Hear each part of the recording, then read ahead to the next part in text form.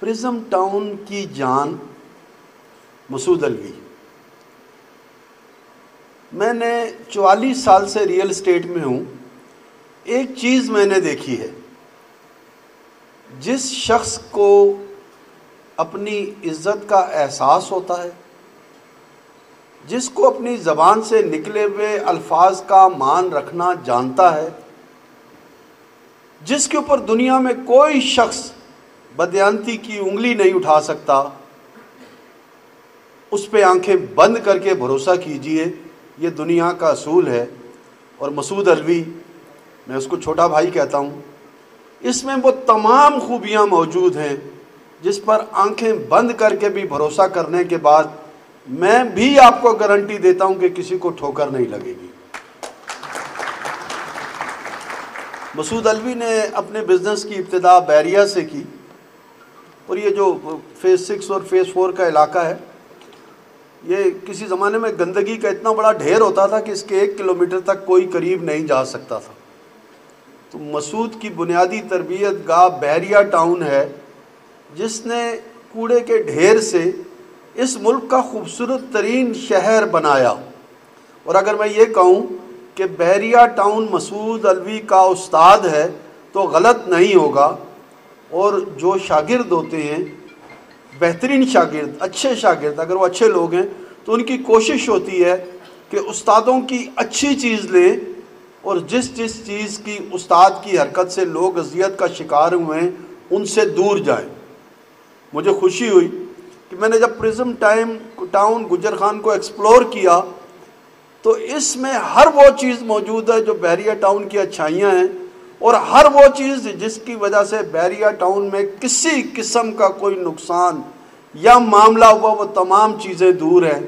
हैरत अंगेज़ बात यह है कि ज़मीन ख़रीदते हुए कोई शामलात नहीं है। इस ज़मीन में कोई सरकारी ज़मीन नहीं है। इस ज़मीन में कोई जंगलात की ज़मीन नहीं है। इस ज़मीन में कोई रेलवे की ज़मीन नहीं है।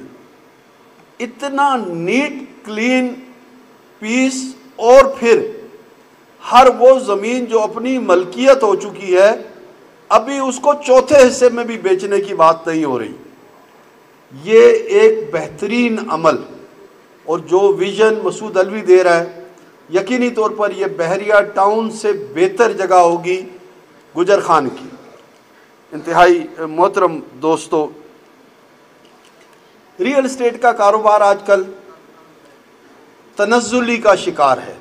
रियल इस्टेट एजेंट, हकीकत में जालमाना टैक्सेस और कवानीन की वजह से मसाइल का शिकार हैं। एक ले देकर नई सोसाइटियाँ हैं जो रियल इस्टेट एजेंट को सहारा देती हैं, क्योंकि नई सोसाइटियों में जालमाना टैक्स और जालमाना कानून रियल इस्टेट के परचेज़र के लिए नहीं है। और ऐसे में साफ़ सुथरी सोसाइटियाँ पाकिस्तान के रियल इस्टेट कम्युनिटी के लिए एक हवा का खुशगवार झोंका है। प्रिज्म टाउन गुजर खान अपनी साफ़ सुथरी कारोबारी साख की वजह से इन रियल इस्टेट कम्युनिटी के रोज़गार में इजाफे का सबब बनेगा। मोहतरम दोस्तों, एक चवालीस साल का तजर्बा है।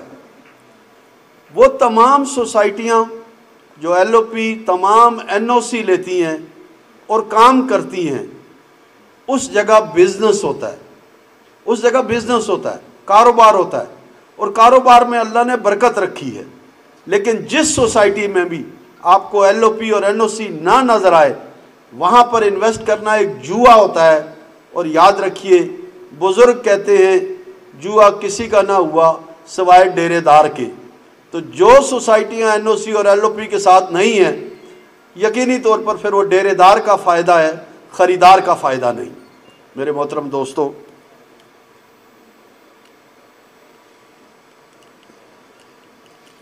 अच्छा गुजर खान के बारे में मेरे मलिक हबीब ने कहा और मीरपुर के बारे में कि उन्होंने इस्लामाबाद को आबाद किया। बिल्कुल ठीक है, इसमें कोई शक नहीं कि गुजर खान और मीरपुर के लोगों ने इस्लामाबाद को इस तरह आबाद किया कि यहाँ के लोग, आप बाहिर देखेंगे, बड़े सादे से लोग हैं, लेकिन अकल का कभी आप मैार इनका देखेंगे तो इस्लामाबाद को बुनियाद करने, आबाद करने की बुनियादी वजह यह थी कि यहाँ पर तमाम कानूनी तकाजे पूरे थे, उन्हें अपनी रकम डूबने का डर नहीं था, उनको अथॉरिटी और बिल्कुल साफ़ सुथरी जगह मिलती थी, लिहाजा इन लोगों ने इसको आबाद किया। लेकिन आज सारी ज़िंदगी गुजर खान के लोग ये चाहते ज़रूर थे कि गुजर खान में भी एक ऐसी जगह हो जहाँ उनके जो बच्चे, जो फैमिलियाँ, जो पोते, जो नवासे बाहर इंग्लैंड में और दुनिया की यूरोपियन कंट्रीज़ में हैं, वो भी जब गुजर खान में आए तो एक ऐसी जगह हो कि वो फ़ख्र से कह सकें कि ये देखो, लंदन जैसा न्यूयॉर्क जैसा, पेरिस जैसा, एक जगह हमने गुजर खान में आबाद कर ली है।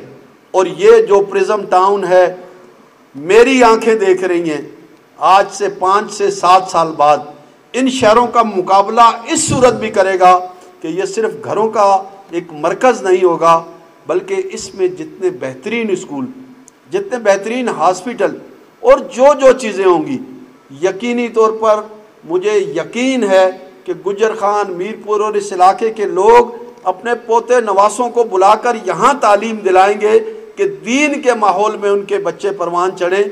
उन्हें भी गुजर खान में एक ऐसी जगह मिलेगी जहाँ वो फ़खरिया तौर पर अपनी आल औलाद को बुला सकें।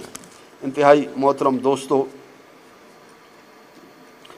मसूद अलवी के साथ बेहतरीन दोस्तों का, बेहतरीन लोगों का एक झमघटा होता है। मैं मलक हबीब साहब, नजीब गुल अब्बासी, तारिक शाह साहब, फ़ारूक साहब, रिजवान खोकर साहब, एक लंबी लिस्ट है लेकिन एक नाम, एक गुमनाम मुजाहिद जिसका आज मैं ज़िक्र करना बहुत ज़रूर समझता हूँ, वो है उमर इकराम। ये नाम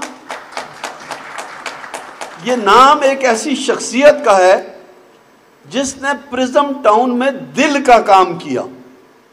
आज जो N O C L O P और जो तमाम कानूनी तकाजे बेहतरीन अंदाज से पूरे करके हम फ़ख्र से कह रहे हैं कि हमने हर कानूनी तकाजा पूरा किया, इस सारे मामले का महवर और मरकज़ उमर इकराम है। और सबसे मज़े की बात यह है कि जब मिनिस्टर्स या किसी के साथ मीटिंग होती है तो वो पिछली कुर्सी पे बैठा होता है, मेरे जैसे नालायक आदमी को आगे सोफे पे बिठा देता है। ये बहुत बड़ी बात होती है कि अपनी कामयाबियाँ किसी के नाम पर करना मेरे इंतहाई मोहतरम दोस्तों रियल इस्टेट एजेंट अच्छा चूँकि मैं पैदाइशी लगता है रियल इस्टेट एजेंट हूँ और मेरी ज़िंदगी इससे आगे नहीं निकली, लेकिन रियल इस्टेट से वाबस्ता जितने काम हैं, उनकी बुनियाद रियल इस्टेट एजेंट की हैसियत से शुरू होती है। जब रियल इस्टेट एजेंट कामयाब होता है तो बिल्डर बनता है। जब बिल्डर की हैसियत से कामयाब होता है तो डेवलपर बनता है।